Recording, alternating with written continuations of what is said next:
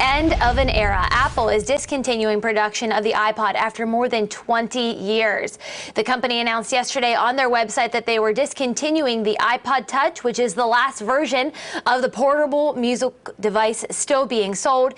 CNBC reports that the first ever iPod was introduced back in 2001, boasting the ability to hold up to 1,000 CD quality songs in an ultra portable 6.5 ounce design that fit right in your pocket. I can hear Steve Jobs saying it right now. Apple said the iPod Touch will be available while supplies last. It sells for $199, Monica. I never had an iPod Touch, and now I never will.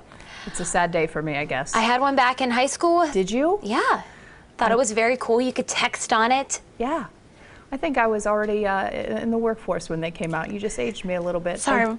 Thank you for that. Sorry. Thank you. That's great. That's great. No, it's great. Hey, we've got the latest news, weather, and sports for you 24 7. Make sure you visit NBC4i.com. You can also stay connected while you're on the go with the free NBC4 News app downloaded today in the Apple or Google Play stores.